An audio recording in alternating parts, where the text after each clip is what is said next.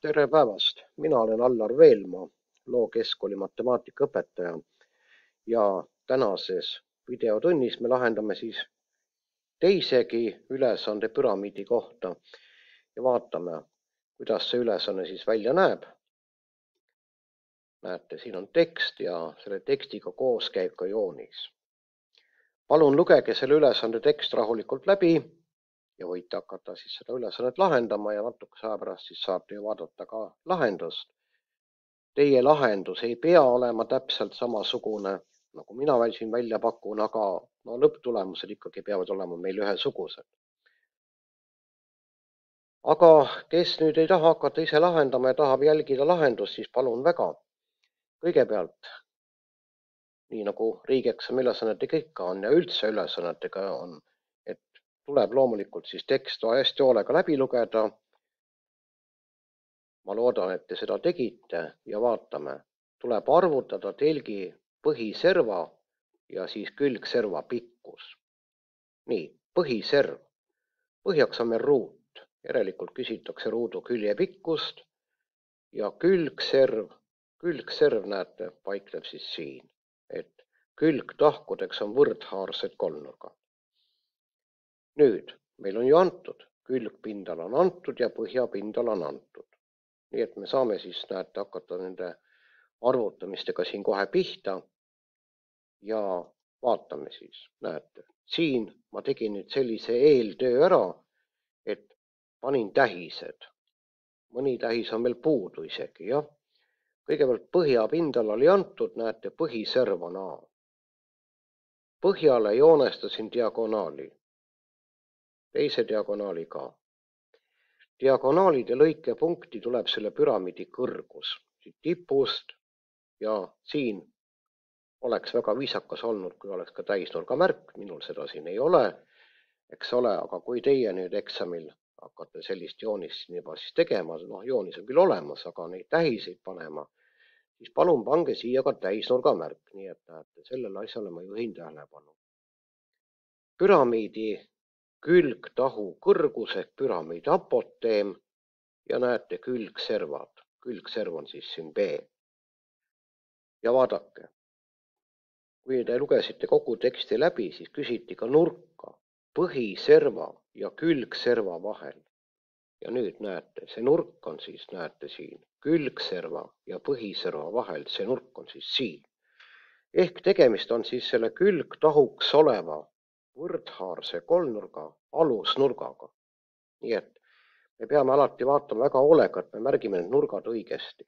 sellepärast tuleb ka ülesande teksti siis hästi hoolega lugeda. nii, aga jutt jutuks on ju hea küll, hakkame siis arvutama. vaatame, põhiserv. ilmselt me saame mõne asja kohe kätte, näete, paneme siis jällegi kirja korralikult. andmed leian siis põhiserva leian külgserva. põhjapindala on siin, näete, tegemist on ju ruuduga, ruudu pindala. ruudu pindala on sada nelikümmend neli. noh, nagu ma varemgi juba rääkisin esimeses püramiidi videos, et ruutvõrrandil on ju tegelikult kaks lahendit, aga me selle negatiivse lahendi jätame kõrvale, kuna see meie ülesandega hetkel ei sobi. ja järelikult saame kätte, et selle ruudu külg ehk siis põhiserva pikkus on kaksteist meetrit, ruutjuur saja neljakümne neljast. külgpindala, vaadake, külgpindala on nelja kolmnurga pindala ehk siis näete neli korda A korda M jagatud kahega, kus M on siis selle kolmnurga kõrgus, aga ühtlasi ka püramiidi apoteem, nii et heal lapsel mitu nime. neli ja kaks saab peast ära taandada kaks korda põhiserv kord apoteem, külgpindala, näete, on meil ülesandes antud. nii et järelikult saame siit kätte siis apoteemi pikkuse.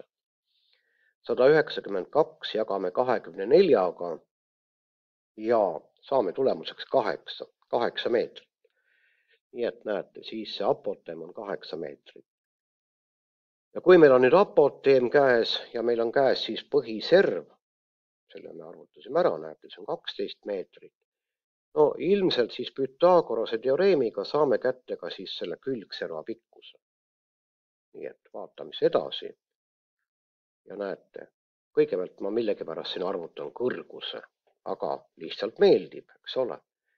nii et arvutan siis kõrguse, milleks mul kõrgust vaja on, vaatame, näete, kolmandas punktis on küsid mul ruumalas, nii et kõrgust ikka on vaja küll. Ja vaatame, mis me siis saame. näete, kõigepealt paneme kirja Pythagorase teoreemi, eks ole näete, kõrguse ruut pluss pool A-d läheb ruutu ja see võrdub, näete siit ilusasti apoteemi ruuduga, M-i ruuduga. aga A ja M, panete tähele, on ju mul olemas, eks ole, näete, põhiserv on olemas ja apoteem on ka olemas, nii et ma saan siit kõrguse ilusasti välja arvutada. ja ma saan, et kõrguse ruut on siis kakskümmend kaheksa ja loomulikult see pluss-miinus jälle, eks ole, aga seda ma ei hakanud enam siia kirjutama. piisab, kui ühe korra kirjutasin ja selgitasin, miks see nii on ja miks me negatiivse ruutvõrrandi lahendi siis kõrvale jätame. nii et ruutjuur kahekümne kaheksast ehk neli korda seitsmest on kaks ruutjuur seitset. nüüd on meil selle püramiidi kõrgus käes. ja nüüd siis vaatame edasi ma arvutan välja, näete, diagonaali. milleks mul diagonaali vaja on? noh, eks mul seda diagonaali on vaja ilmselt selleks, et siis saaks kätte selle külgserva siit. aga ruudu diagonaal, näete, siit tuleb jällegi veel kord Pythagorase teoreemi kasutada.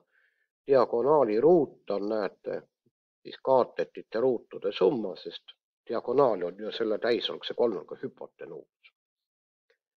arvutame ära, saame diagonaali ruut on kakssada kaheksakümmend kaheksa. sest näete, A on mul siin, õigemini see A ruut, näete, on siin ja selle ma saan siit ilusasti võtta. ja nüüd arvutame ära diagonaali. Ja nüüd siis juba edasi, näete, kõrguse ruut, pool diagonaali läheb ruutu loomulikult siin on siis see täisnurga märk puudu hetkel, eks ole, aga see tuleks ära märkida. ja saame, et kaatetite ruutude summa on võrdne hüpotenuusi ruuduga ehk siis see B on kümme meetrit. loomulikult te võite siin üritada kuidagi teistmoodi teha, kes teid keelab, eks ole. Aga mina pakun välja lihtsalt ühe variandi ja teie asi on siis otsustada, kas see lahendus teile sobib või ei sobi nii, nüüd edasi on juba tööd natuke vähem. nurk põhiserva ja külgserva vahel. kuna me oleme kõik jupid siin välja arvutanud, siis selle nurga arvutamine, täisnurk, see kolmnurga trigonomeetria abil ei tohiks olla enam keeruline. Siia tuleb teil joonisele panna veel täiendavalt juurde täisnurga märk, sest püramiidi apoteem on põhiservaga risti. nii et näete, siin on, peab olema täisnurga märk siis. ja vaatame siis, kuidas me siis saame kätte selle nurga. aga näete nii, täisnurksest kolmnurgast vastas kaatet ja hüpotenuusi jagatis on võrdne nurga siinusega, nii et m jagatud b-ga on siinus alfa. Ja me saame, et siinus alfa on siis, näete, see m oli meil välja arvutatud, b oli meil välja arvutatud, saame null koma kaheksa ja alfa on siis arkus siinus null koma kaheksast ehk siis see annab tulemuseks meil ligikaudu viiskümmend kolm koma üks kraadi. nii, nüüd oleme ka teise alapunkti ära teinud. kolmas, telgi ruumala ehk siis püramiidi ruumala, jah lõppvastus, andke täpsusega üks kuupmeeter. vot sellistele kohtadele peab selles ülesandes või üldse sedalaadi ülesannetes pöörama tähelepanu, et missuguse täpsusega tahetakse saada lõppvastust. ja kui seda antud ei ole seal, ei ole öeldud, no siis tuleb käituda lihtsalt mõistlikult, eks ole. et mitte ei kirjuta vastuseks kõiki numbreid, mida teil kalkulaator näitab niimoodi vaid ikka tuleb ümardada siis mõistliku täpsusega, selleks on olemas ka omad ümardamise reeglid. nüüd hakkame arvutama. ruumala üks kolmandik põhjapindala korda kõrgus, aga meil on kõik eelnevalt välja arvutatud. põhjapindala on ju näete lausa teada ja kõrguse me saime ka kätte.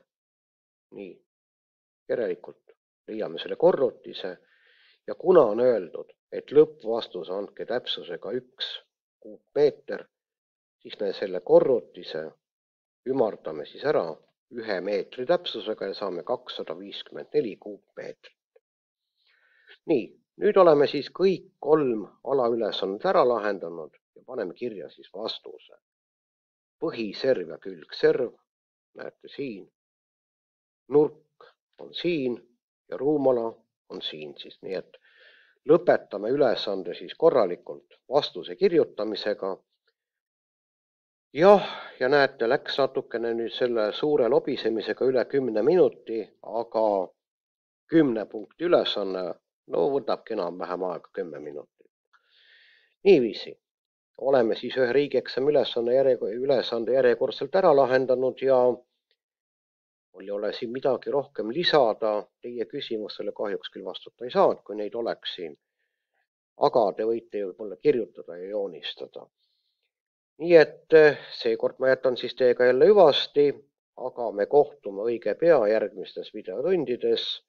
seniks olge tublid, terved, jalutage õues ja selleks korraks siis nägemiseni